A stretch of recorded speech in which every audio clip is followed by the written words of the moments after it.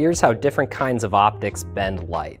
This lens focuses light down to a point, this lens spreads light out. That's a pretty sweet video by Edmund Optics showing how optics bends light. Let's see if we can replicate it in Zemax. Okay, now we have Zemax opened up. I'm gonna go ahead and get started by defining our light. So I'm gonna define it by the entrance pupil diameter. Next, I've added a few surfaces.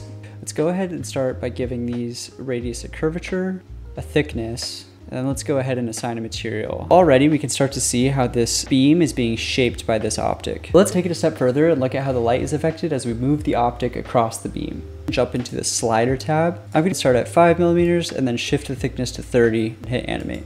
As the optic moves across the z-axis, the location where the light is going to focus is also going to shift. We can do the same thing with the concave lens by just changing the signs on our radius as a curvature. So now let's take it a step further and look at a convex lens with a concave lens. So as we move the convex lens across the beam, you can see that the light is actually diverging away from the concave optic, but then converging once it hits that convex optic and coming down to a focus.